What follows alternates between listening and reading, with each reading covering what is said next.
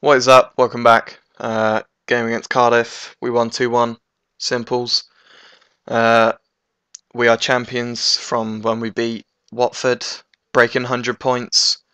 James, uh, James Tomkins got man of the match. He also scored. Uh, they got an own goal, but technically it should have been counted as Quintero's goal. But um, I'm pleased with the result. A win's a win. I don't really care.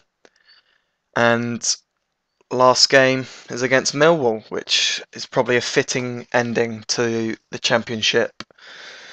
Uh, but I'll see you for that game. Goodbye.